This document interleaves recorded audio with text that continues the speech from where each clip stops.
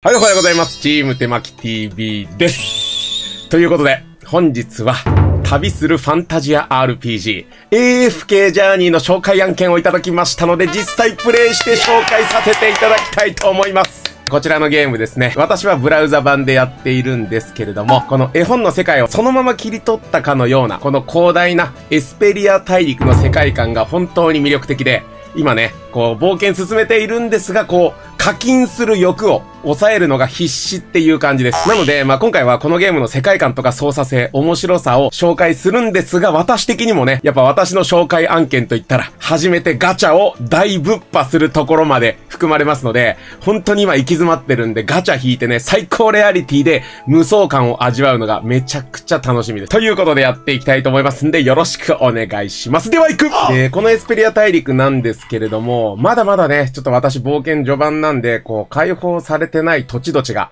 たくさんある状況なんですけど、どうやらこの世界は6つの陣営に分かれていると。で、この6つがね、もうマジでワクワクするんだよ。と、とりあえず聞いてって。まず、人類の栄光を背負うブライト王国。森に栄えるベルディア。力を崇拝するババリア。死によって生まれ変わるグレイブボーン。そして残り2つが相入れない神魔。セレスチアルとカタストロフ。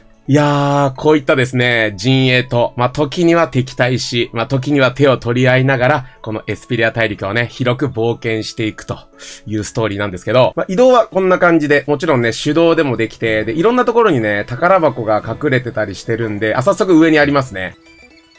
まあこういった隅々までの探索を行いながら冒険することも当然できるんですけど、基本的には、えー、こちらにあるオレンジ色のこの追跡というボタンを押しますと、えー、ストーリー進行はオートでやってくれます。で、こうやって世界各地にあるテレポストーンまで勝手に移動しながらやってくれますんで、ストーリーを進めるのにそんなにストレスはないっていう感じですね。さあ、新たなエリアに入りました。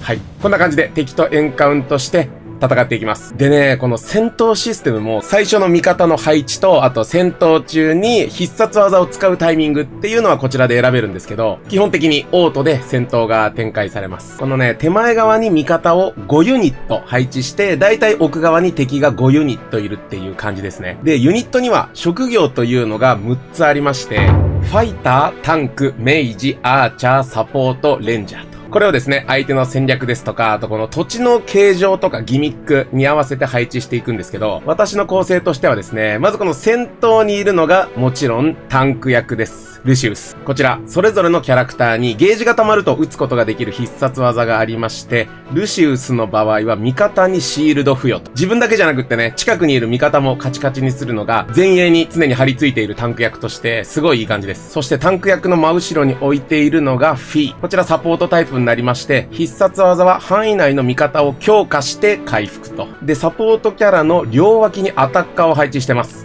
まずは左側がバレン。物理のアタッカーであるファイターですね。こちら必殺技がかなり高火力になっておりますので、発動したら相手の前衛が消えてるって感じですね。で、逆に右翼に配置してるのが魔法アタッカーであるメイジ。そして一番後ろにですね、我が軍のエースであるセシア様を配置して、セシア様アーチャーなんで遠距離攻撃もできるんですけど、これね、必殺技がガチで優秀で、女王の召喚。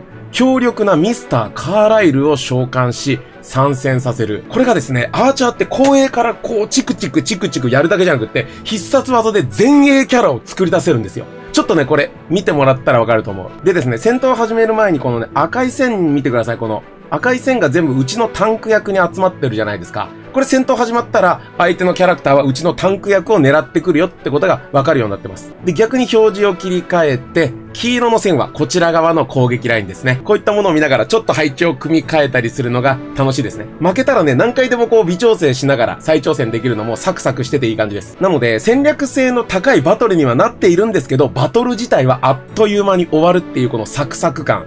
このバランスがね、めちゃくちゃちょうどいいです。まずは見てください。戦闘開始。はい、ということで、まずは我々のタンク役に相手の攻撃がしっかり集まってますね。はい、狙い通りです。相手の前衛1枚撃破。さあ、相手の前衛が1枚突っ込んできましたが、ここでタンク役の必殺技、シールド付与ですね。さあ、ガンガン前編、前線を押し込んでいきます。さあ、ここで、ここで出ました、セシア様のドンこの召喚がめちゃくちゃ強い。はい。普通にね、HP を持っていますので、相手からの攻撃も受けてくれるし、殴ったら殴ったで強いんですよ。うん。しかも召喚した位置見ました相手のど真ん中にドッスンと登場するんですよ。はい、ということで、結構最後ね、入り乱れましたけど、我々の勝利です。これがね、私の基本戦術で今のとこ進めております。あなたたち、このブドウ畑は一体何なんですか？なんか、ボイスもいいでしょ いいでしょって俺が言うのもなんなんですけど、すごいこう感情がこもってるというか、うん、没入感がね、アップする感じで、レベル高いです。今はね、北の村と南の村のいざこざ。これがブライト王国で、えー、展開されていますので、それの解決に奔走しているっていう感じですね。記憶を失っても、マーリン先生は変わらない。私の偉大な先生よ。まあ、ストーリーは実際プレイして楽しんでもらいたいんですけど、今、えー、ミレイルさんのセリフにあった、えー、記憶を失ってもマーリン先生は変わらない私の偉大な先生よ。このマーリン先生が主人公です。主人公は偉大な魔法使いなんですけど、記憶を失って、その記憶を取り戻しながら、こう、旅を続けている感じですね。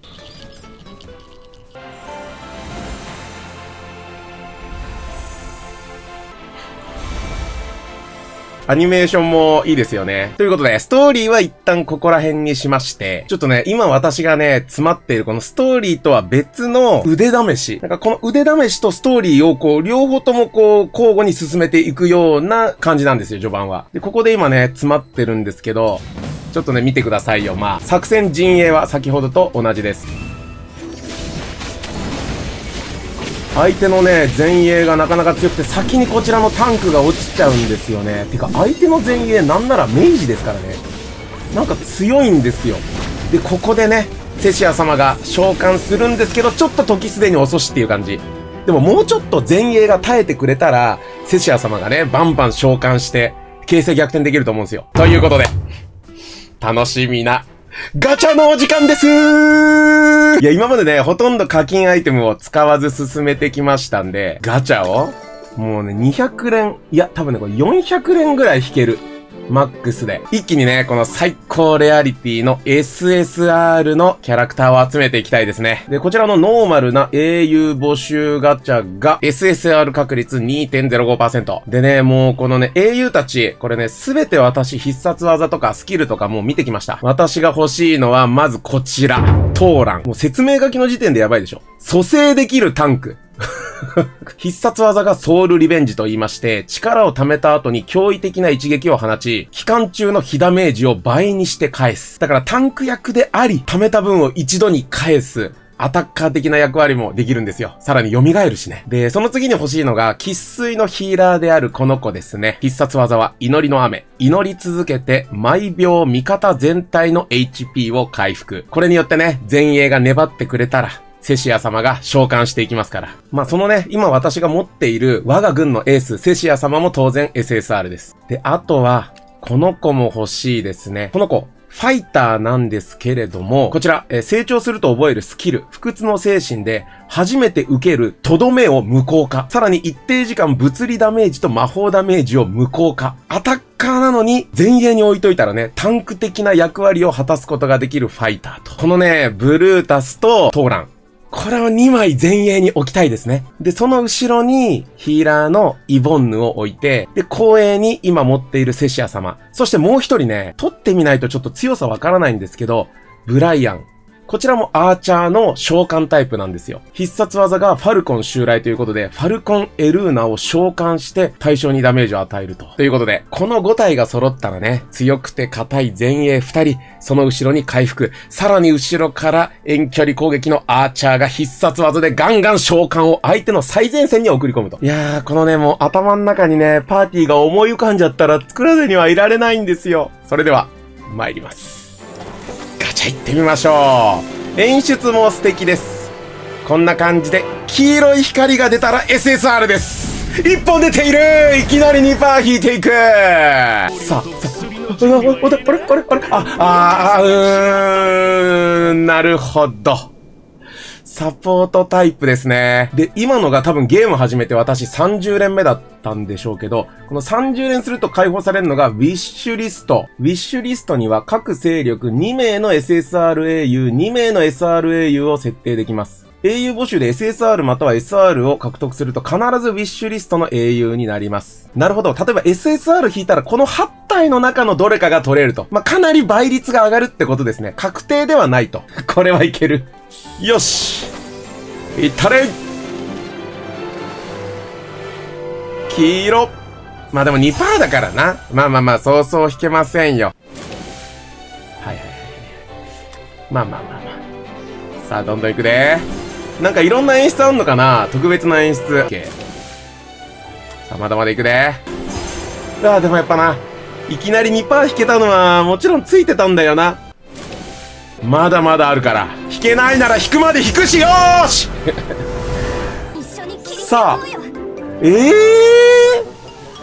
ここ8分の3引いちゃった俺。マジかよ。おえウえウえウえ、ちょっと待ってよ。ウィッシュリスト。ほぼ当たりなのに、隙間引いちゃったよ。あ、でもウィッシュリスト何回引いても有効っぽいっすね。しかも60回募集すると必ず SSR 引くみたいなのもあるし。いや、全然これは、安心していい。うん。いける。俺の理想のパーティー、きっと組める。外れー。いけよ。2連続 SSR 外れってきついって。イエス。何か用か。え？来たね。来たね。はい来ました。召喚系アーチャーでございます。ブライアン。まあ、使ってみないとね、召喚キャラの強さがちょっとわからないんで、楽しみです。あ、この鳥を召喚するのかな？オッケーオッケー。ん？なんだ？なんだ？え？今俺、10連引いたな。え？ちょっと待って。なんだ？押した瞬間、演出がなかったぞ、今。よいよいよいよいよいよいよい演出欲しいってちょっと待って。演出欲しいってなんか俺キャンセルしちゃったえ演出欲しいってそういえばなんかさっき注意書き出てたな。スキップ押してたらなんかもうスキップ上限がどうのとか。ちょっと演出欲しいけどなちょっと、ちょっと、演出欲しいけどなちょっと。来いクソがおいあ、来たはい、ありがとうございます来た来た来た来た来た来た来たここ、理想のヒーラーでしょ？イボンヌさんゲットです。ということで、あと欲しいのが、あ、でも一番欲しいトーランさんが引けてないんだ。あ、そしてブルータスさんもな、私が欲しい前衛が2枚ともまだ揃ってないんだ。でももうこれ、多分いけるわ。この天井機能とかウィッシュ機能で、これかなり欲しいのは揃いやすくなってますね。いける。あとはね、もう取るだけや。そのためにね、課金アイテムをこれだけ集めてきたんや 2%だからな。2%だからな。くサクサク溶けていくはよ、はよ、はよ、はよくはよ前衛くれよぐわーヒーラーかぶりですね。まあ、ただかぶるとパワーアップの素材にすることができますから。問題なす。あわわ、は、は、は、は、終わっちゃう。終わっちゃう。あ、終わったーいやでもですね、皆さん安心してください。今ね、引いたのが、ノーマルガチャです。それに対してこちら。はい。さらにレベルの高いというか当たりが引きやすいガチャチケットも200枚ほど用意してございます。で、こっちは30回募集すると必ず選択英雄。この5英雄の中の1英雄が出てくるということで、私のね、欲しいこのブルータス、さらにトーラン。ここがね、出たらめちゃめちゃ嬉しいし、他が出てもですね、え、とつっていけますんで、参ります行くであいやいやいやああいや、ありがてえ。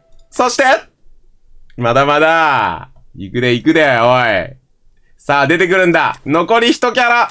ライオンさん出てくるんだ、来たーイェーイやいやい。ありがとうございます。ということで、数に物を言わせて、やってやりました。いや、でもね、システムも、被りなく引きやすくなってるからいい感じですね。ちなみに、こちらのゲーム、毎日コツコツログインを積み重ねていけば、最終的に全英雄無料でゲットできる仕様になっておりますので、その点はご安心ください。私はね、ちょっと早く揃えたかったから、ガチャりました。で、こっからもうこのゲームのいいところなんですけど、こうやって新しい英雄を取ったら、育成がめちゃめちゃ大変じゃないですか。装備品も。そこがですね、なんとこちら、レベル共有でございます。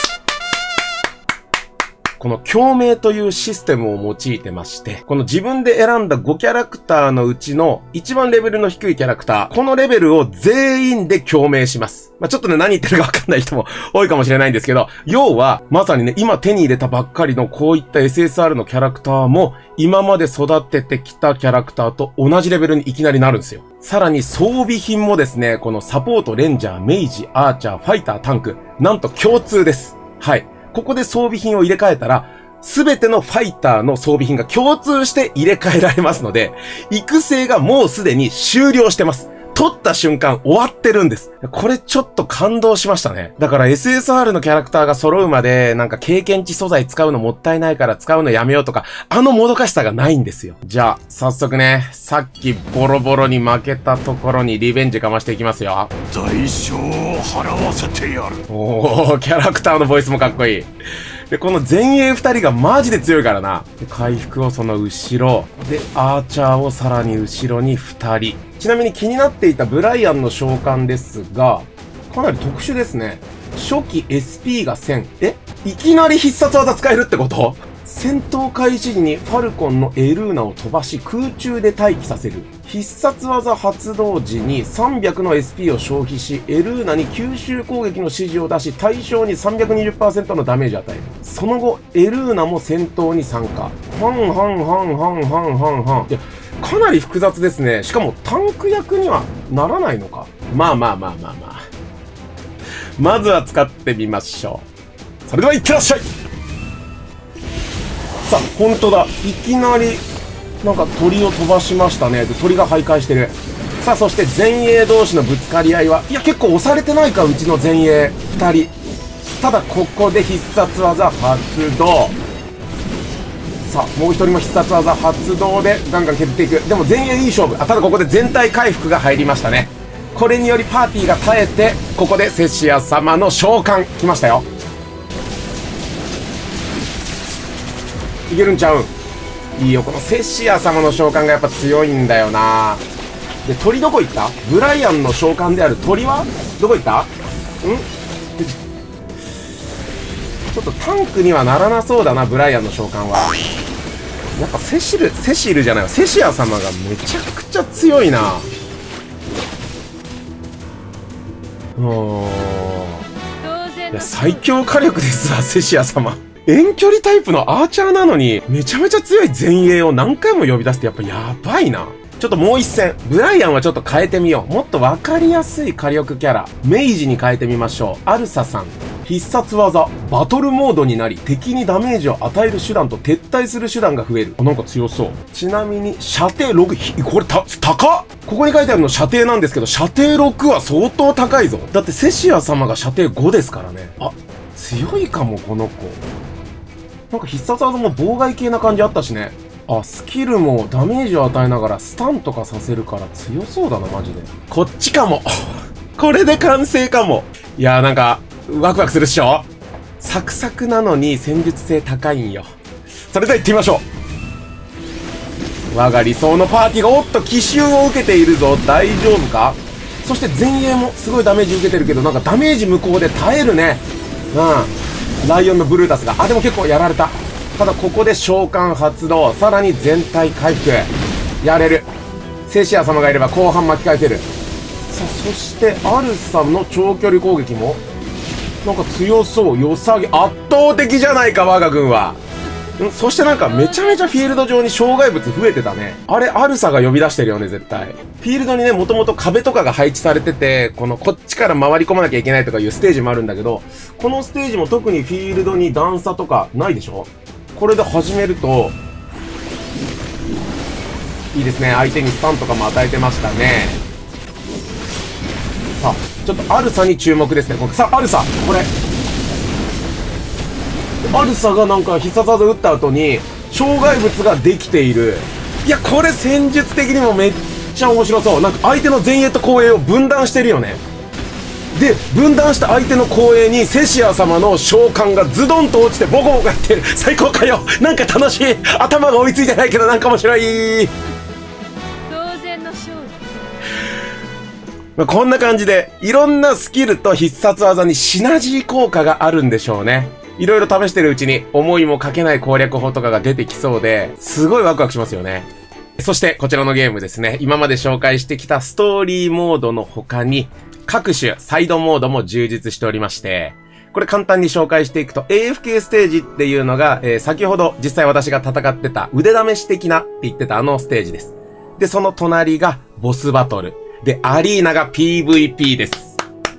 で、続きましてこちらがギルド要素ですね。ギルドメンバー。ギルメンと共に冒険に出かける感じ。で、グローリーマッチも PVP です。まあ、その他、えー、まだね、解放されてないサイドゲームもあるんですが、えー、一人のボスに対して多くのプレイヤーで一斉に攻撃を仕掛ける、レイド系のボスバトルもあったりしますんで、まあ、本当に磨き上げた自分のパーティーをね、いろんな遊び方で試せるっていうのは、面白いですよね。それでは今回は、PVP 大好きおじさんがアリーナ行ってみましょう。ちょっと格上かもしれませんけど、えー、この真ん中の方、行きましょう。配置は先ほど組んだのと同じやつで行きましょう。さあ、これは楽しみだぞ。よく見たら戦力はかなり拮抗している。勝負じゃーいいぞ、いいぞ。タンク役がしっかりしとる。あ、なんか相手が奇襲仕掛けてきたそれでもいいぞ。もう少しでセシア様が召喚してくださる。あ相手からの範囲攻撃が痛そう。ここで召喚。さあ押し込め。さらに全体回復もある。いやいいパーティーだ。タンク回復そしてセシア様の召喚が相手の内側から破壊していく。我々の勝利です。気持ちいい。ということで、えー、今回はですね旅するファンタジア RPG AFK ジャーニーを紹介させていただきました。AFK ジャーニーは現在絶賛配信中のゲームになりまして、App Store、Google Play、そして PC 版は公式サイトからダウンロードできますので、興味を持ったという方はダウンロードして遊んでみてください。そして動画の途中で、ん？なんだ、雨降り出したな。こんな感じでね、天候とか、えー、日時もね、どんどん変わっていくんですよ。で、なんだっけ？そう。全英雄を無料で入手できますし、最大450回のガチャチケットも無料で手に入ります。さらに、概要欄に記載しているギフトコードを使えば、ダイヤ、コインなどを獲得することができますので、ぜひ使用してみてください。ということを付け加えさせていただいて、今回の紹介は終わらせていただきます。ぜひプレイしてみてください。さようなら。